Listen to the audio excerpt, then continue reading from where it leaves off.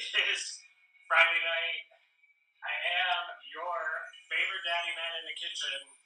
And it would not be a Friday night if I wasn't having camera difficulties. and it can only mean one thing. It is time, once again, for Mutant Cafe and all its camera problems. Cheers and happy Friday night and happy Valentine's Day to you all. Alright. Now we're all set, let's get going. Welcome, welcome, welcome. It is Valentine's Day. It is also the second week of Daddy Man Loves Month, and that means tonight we are celebrating the man that I could not live without, Hubs. And the way we're celebrating tonight is we are making a very, very delicious Italian dish for my Italian husband, pasta puttanesca. And then after this, we are going to jump on the television and watch Hub's absolute favorite horror movie, like you just saw, Scream. So, this is a super, super simple recipe, and there's not a lot involved, and there's not a lot of ingredients, but we are going to start the way we always start by covering those ingredients. First things first, you've got one pound of pasta. I am using pasta puttanesca. It is a thicker spaghetti. It's actually got a little tiny hole in the center, so when it puffs up, it's got that hole and it collects all that sauce inside the pasta. It's really good. If you like spaghetti, go ahead and try this. It's really, really good. We're also going to use a couple cloves of garlic. We're going to use several um, anchovy fillet, fillets, excuse me. Um, just so to cover this before we keep going, all of these ingredients are suggestions. You can use as much or as little of these ingredients as you want. These are just a baseline. So if you like the ingredient, use more. If you don't like the ingredient, use a little less. But trust me, with those anchovies, you are not going to taste them. They give it a nice little undertone. You're not going to quite know what it is. It's not fishy, but it makes it delicious. We're also going to use uh, half a teaspoon of red pepper flakes. Again, more or less if you want it um, spicy. We are uh, we covered the six anchovies. We are going to use 28 ounces of whole peeled tomatoes, and these are canned.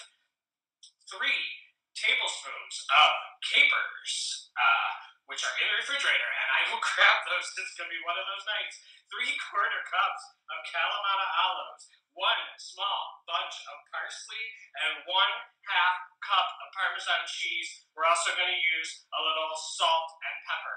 Okay, let me grab those capers, and then we'll get going.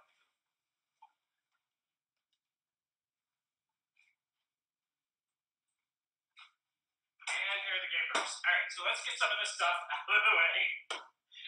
let's get going. First things first, we're going to get these ingredients prepared. There's not a lot to prepare.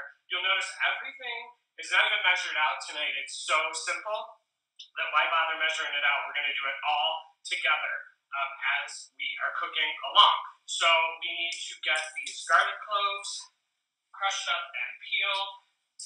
You've seen me do this several times. I'm going to go, these are a little smaller, so I'm going to go for crush them. Don't worry about it because we are going to mince these so they can be as crushed as you need. Those peels should come right off if your garlic is fresh, which of course you would like your garlic to be fresh. Pasta puttanesca. It is delicious. It is simple. It's all in one pan. All these flavors go so well together. They're all traditional Italian flavors, just like my Italian husband. All right, so we are going to dice this up pretty small. You don't need to go too small. but you definitely don't want to bite down into a big piece of garlic. You should, by the way, have a big old can of salted water going by now. Because what's going to happen is we are going to throw that pasta in the water, and the seven minutes that it uh, takes to make this bucatini, which is about one minute under the package instructions, uh, that's all it's going to take to make the sauce. So make sure you got that water boiling up because you don't want to start the pasta sauce and cook it uh, too much before that pasta's ready. The only other thing we need to do is we need to cut these Kalamata olives. I'm draining them. I use about this whole jar. And we're just going to dice those up as well. These, I'm just going to do a real rough cut. I'm not going to go too small on this. Some of these I almost would leave halved. Okay. There we go. We're going to leave that parsley for the very end.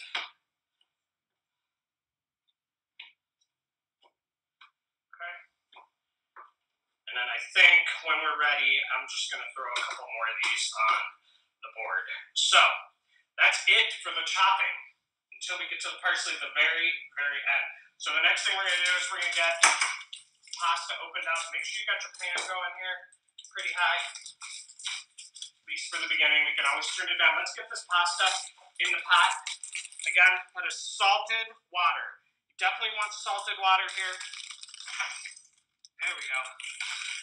Because you want the salt to imbue the pasta. All right. So we got that pasta water boiling. We give it a nice stir here. Up nice and high. Get that lid on. That lid always helps boil a little faster. All right, so we're gonna go nice and slow. I said there's not much involved in this dish. Drink there. All right, first things first, we're gonna get the olive oil in the pan. Like I said, I don't even have this stuff measured out. Honestly, once you've had this once or twice, you'll get a taste for what you like in it and what you don't like in it, and you don't even need directions. All right, so we've got that olive oil heating up. We've got our pasta going. Let's talk about pasta puttanesca. Exactly what is pasta puttanesca? Puttanesca, believe it or not, it is Valentine's Day. I don't know if this is appropriate or not. It seems sort of appropriate. Pasta puttanesca. Puttanesca translates in Italian to Lady of the Night or Lady of the Evening. and there's an interesting story. This pasta originates in Naples, Italy. Um, it's about 100 years old, according to legend. Um, this uh, Naples is, for those of you not uh, uh, familiar with geography, or those of you who are familiar with geography, Naples is a port city in Italy. Uh, it's a coastal city, so it has uh, ships coming in and out, uh, which means they're you know importing, exporting, lots of ships coming in. Along with ships come sailors. Along with sailors back then comes prostitutes or ladies of the evening, and um, this was a very popular dish amongst the ladies of the evening. Now, there's two different theories on why this was popular. One, most ladies of the evening uh, may not have had permanent residence, so to speak, or were renting rooms for the evening. Typically, when you're renting a room for the evening back then, it would have a hot plate, and so you would have your own pan, and you would want a dish where everything came in cans or jars. So nothing had to be refrigerated, nothing had to be kept fresh per se. You could grab garlic at the market, like or down the street or whatever. So um, that was one theory on why it was very popular with the ladies of the evening. The other theory is it's unbelievably fragrant. Every single thing we're about to throw in this pan smells amazing, and the second it hits the pan, it smells incredible. So those sailors are probably hungry for more than one thing, food being one of them. Uh, and when they smell that smell and know what's going on in that room, they're obviously going to go where there's delicious food coming out of the window, along with the other thing that they may be looking for. So, pasta puttanesca, y'all. Happy Valentine's Day. That's where this dish comes from. Again, what else would you expect from Mutant Cafe? so, we've got our pan nice and heated. I'm going to give this pasta a nice stir. Don't let it get all clumped up. When you first throw it in there, you know, it kind of hits. So, I am now, it's now boiling very rapidly. So, I'm going to give that timer seven minutes and go. So that means we start the dish. We got seven minutes. First things first, we are going to add the garlic. And I am going to grab a spoon again. And instantly, just like I said, you can smell that garlic. Make sure you've got a good amount of oil going on in there. Over a little bit. Man, I can smell that garlic. All right, so we are then next going to go with crushed red peppers. I don't know why I'm looking at this. I've made it a million times. I don't need to read this. So, you know, a good amount of crushed red peppers. And again, instantly, you can smell the garlic and the red peppers. Phenomenal. We're just going to give that a couple minutes. Don't burn your garlic. Burnt garlic is not a happy taste. This is one of Hub's absolute favorite dishes. It's so simple, it's so easy. It's amazing as pasta. It's really good on chicken, really good on fish. The fun thing is you can jar this up in your refrigerator for like two weeks, make a nice batch, put it in your refrigerator, and you can then just throw some pasta and this sauce in the microwave, and you're good to go. All right, next we're gonna do the anchovies. Again, a lot of people freak out about anchovies. I get it. Anchovies are a little fishy and a little funky. But in this dish, because we are cooking it in the oil, you're really not going to taste these anchovies. It's going to have one of those umami kind of tastes, which is a, a Japanese word for it's a, it's another sense in Japan. Like it's it's one of the it's a sixth sense according to um, J- Japanese cooking. It's indescribable, but you can taste it in the back of mouth. Um, I'm putting almost this entire pan in, and I'm even putting a little bit of the oil in. Because what you're going to do here, and I do that every time, trust me, I've never steered you wrong yet. That hot oil, these are going to completely disintegrate. These sardines are tiny little fish, and they've been cut in half so they can get the um, the bones out. So because they're so wafer thin, they're already dissolving. Look at that. I put a big hunk in there, and you can barely see any um, that sardines anymore. But man, does it smell good! Oh, little fishy right now in the smell, but it's dissolving down with everything else, and you are never gonna taste that in there. You're gonna taste something, but trust me, you're not gonna taste a nasty fish taste. I wouldn't steer you wrong on that. Okay, just kind of smash it up with your uh, with your wooden spoon. Don't forget, 8 o'clock, we are going to tweet along to Scream, the original, Neve Campbell. Let me heat this pasta water, boiling over. Get that lid. Once it's boiling, you can take that lid off. Keep it from boiling over. Alright, we only got about three and a half minutes. So, the next thing we're going to do, we're to get these tomatoes in. Is whole tomatoes, and you want all that juice in there. Don't miss a drop.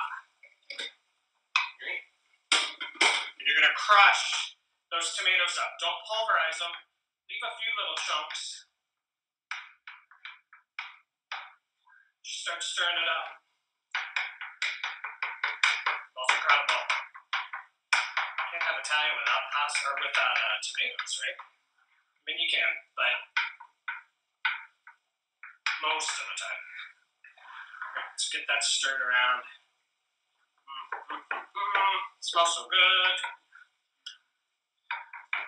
Hope y'all are cooking along with me tonight because this is a good one. This is a great Valentine's dish, or if you know a dish where you just want it ready quick. You want to spend time with your guests, spend time with your Valentine, spend time with your birthday partner, whoever you got going on. This is the dish to do because you do not have to pay attention to this. All right, so we are gonna just let this start simmering a little bit. Heat just up a little more.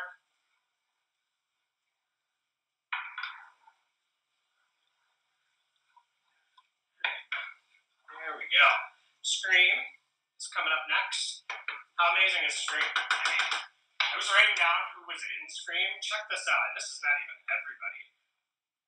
You've got Drew Barrymore. You've got Neve Campbell, uh, Rose McGowan, Courteney Cox, David Arquette, Matthew Lillard, Jamie Kennedy, Liev Schreiber, Skeet Ulrich. Uh, and then that's just not even, that's not everyone that's in this movie. Amazing movie.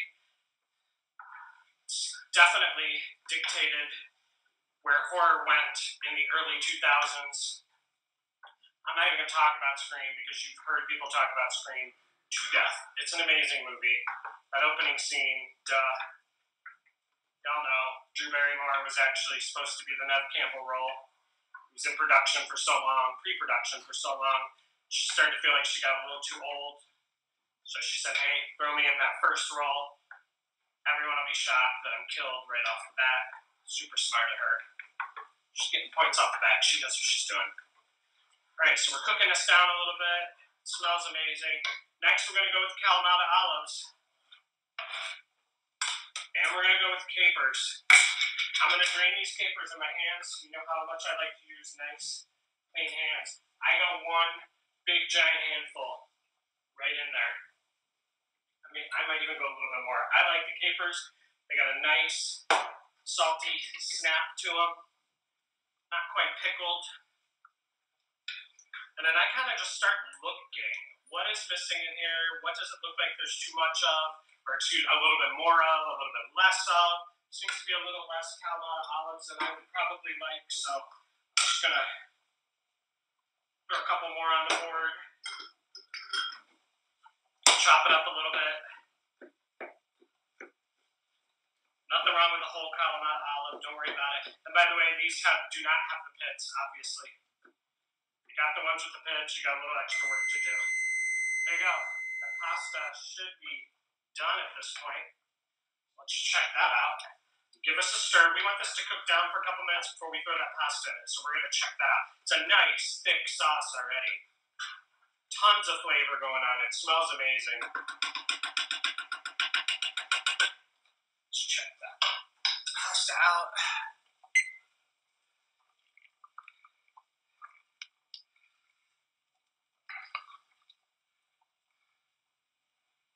Ooh.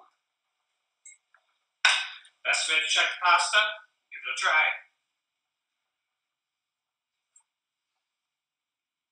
Mm. That's perfect.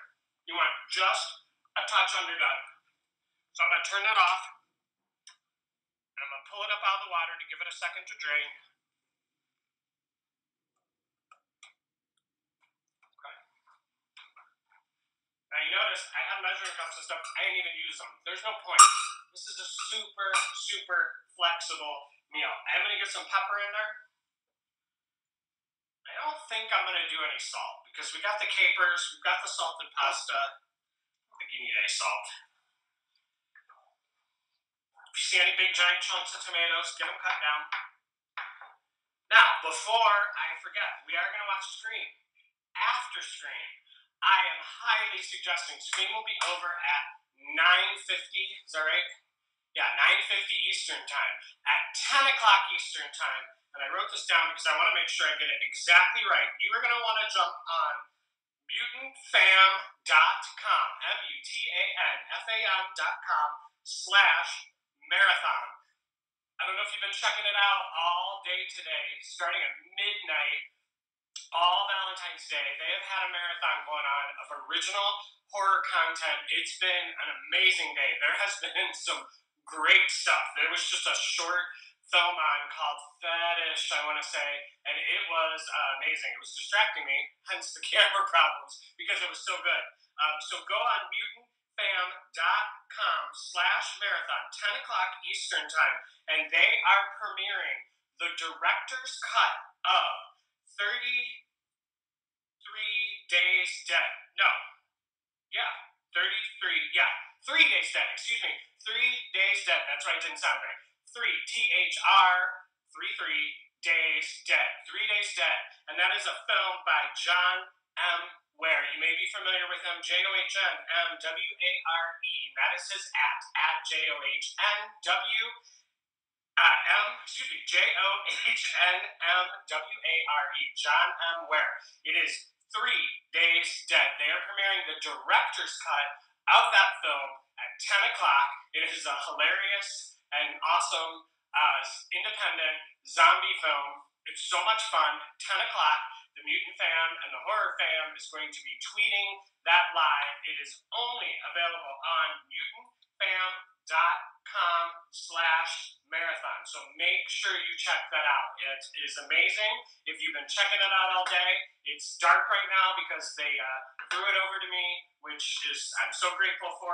And that movie is going to be a ton of fun. So after Scream, make sure you get another cocktail. John actually threw a personal thing out every time his hair changes or his shirt changes, and I'm guessing maybe it shouldn't change. He has uh, challenged you to take a drink or a puff, depending on if you're in a Colorado state or a Texas state. And um, I'm up for that challenge, John. So thank you for that. That's going to make it all the more fun. Let's grab that pasta.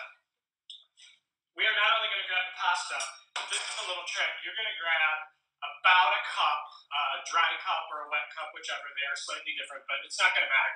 Grab a cup of that pasta water, and I'll tell you why in a second.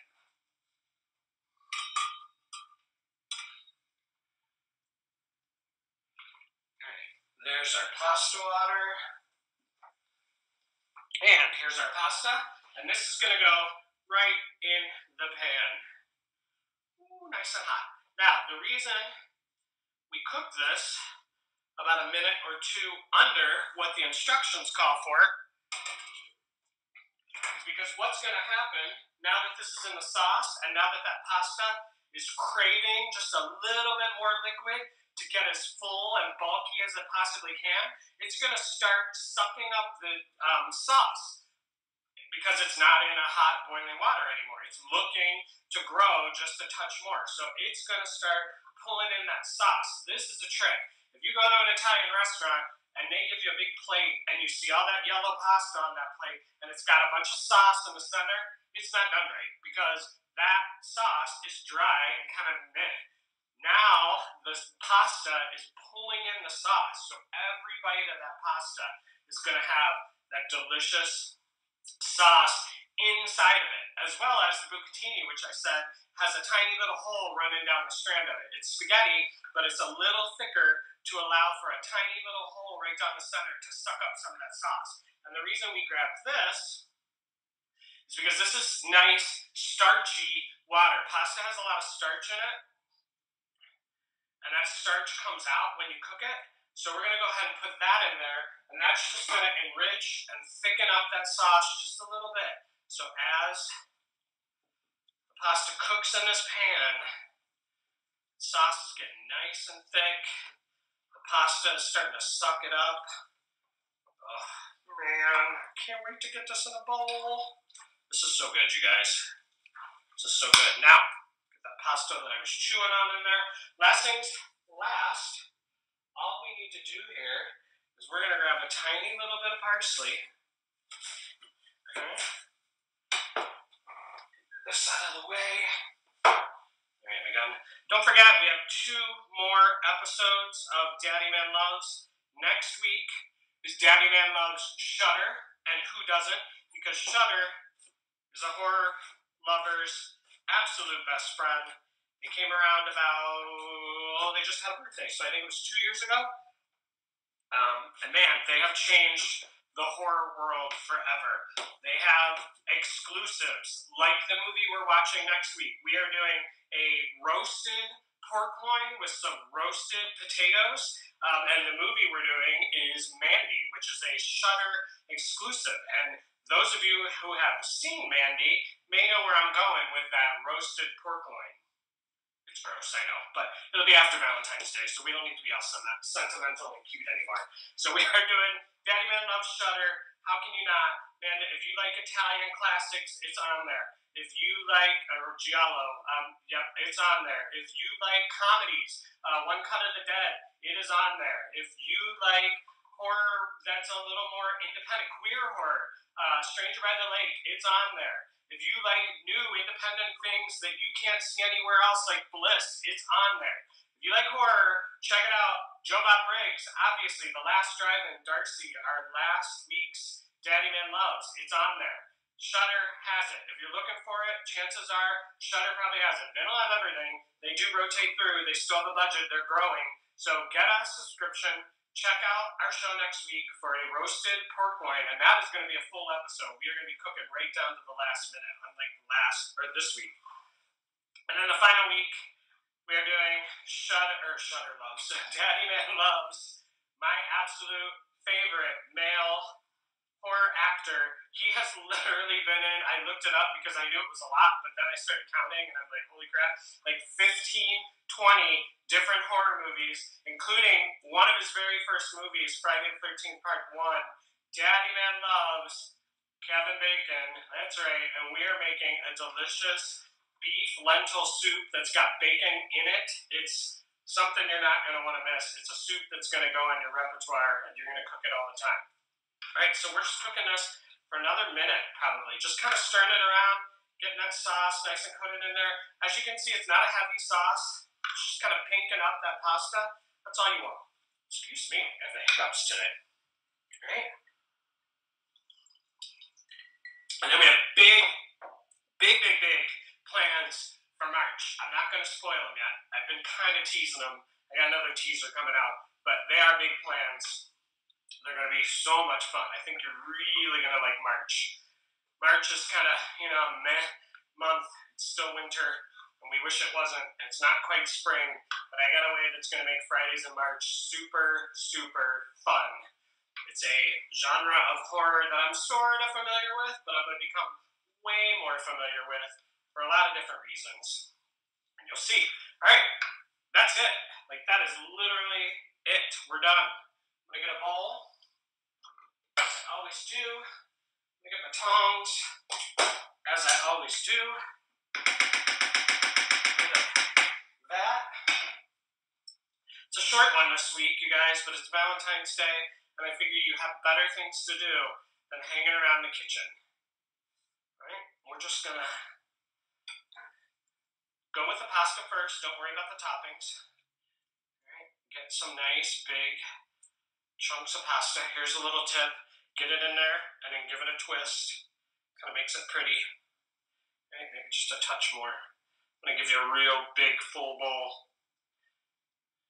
All right. There's your pasta. And then what you're gonna do, grab a spoon, pull some of this pasta off to the side, get some of that sauce in there. Gonna top that off with this delicious sauce. Oh, look at that. All those beautiful olives, capers.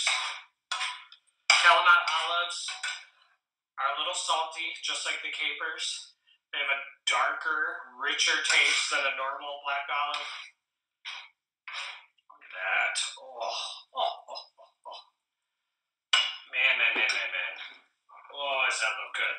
And then we're just gonna hit that with a little bit grated Parmesan.